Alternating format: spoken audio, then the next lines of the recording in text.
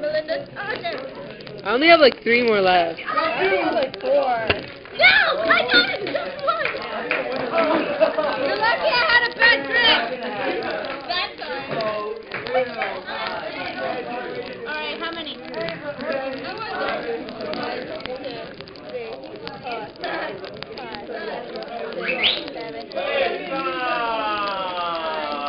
Let's find out who our winners are. And then I want you to move your desk back to their original location and pick up all the gold meat.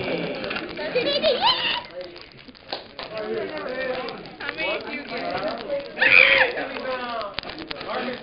What the heck? How many did you get? Eighteen!